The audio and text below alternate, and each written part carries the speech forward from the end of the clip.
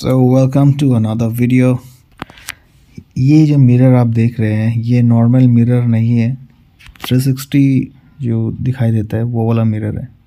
XPulse के लिए ये मैंने ख़रीदा है और वेरी इजी टू इंस्टॉल इसका जो बैंड देख रहे हो, इसको आप साइज़ वाइज ऊपर नीचे खींच के इसको लगा सकते हो।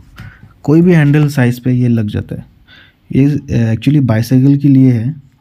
बट ये आप बाइक में भी यूज़ कर सकते हो और ये बहुत कूल भी लगता है। और यहाँ पे जो इसका एंगल है, पूरा 360 आप इसको ले सकते हो। एकदम लेफ़्ट राइट ऊपर, नीचे, पूरा रोटेट कर सकते हो।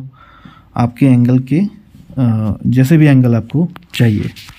एक्सपल्स में क्या है कि जो स्टॉक मिरर जो आता है, इसका देखो, पूरा दिखाई दे रहा है आपको। एकदम राइट पे एक जो स्टॉक मिरर्स है, उसके कंपेयरिंग तो मैं बोलता हूँ ये बहुत अच्छा है, बहुत ज़्यादा कवर करता है। ठीक है? और इसको ऊपर लगाओगे तो एक प्रॉब्लम आएगी कि आपका हाथ जो है, ये मिरर को थोड़ा कवर करेगा।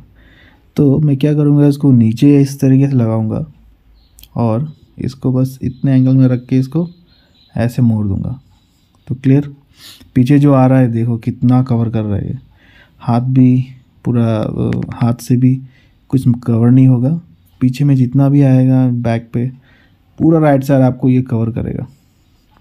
और सबसे अच्छा बात मुझे ये लगा है कि नीचे की तरफ़ रहेगा और जैसे स्टॉक मिरर जो है, जो अंकल लुक्स देता है, वैसा कुछ लुक्स आपको पता भी नहीं चलेगा सामने से कि ये मिरर मैंने लगाया है। ठीक है? एक बार मैं सामने से दिखाता हूँ, आपको दिखाई दे रहा है क्या? बोलिए।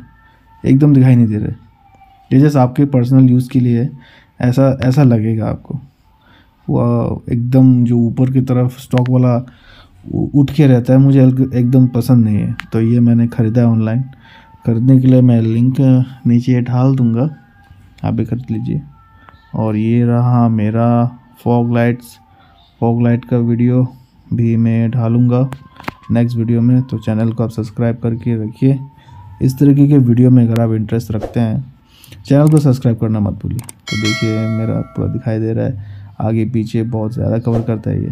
वीडियो कैसा लगा? कुछ भी आपको इन्फॉर्मेशन अच्छा लगा तो लाइक कीजिए और इस पॉइंट तक आप पहुँच गए हैं तो चैनल को सब्सक्राइब कर ही दीजिए।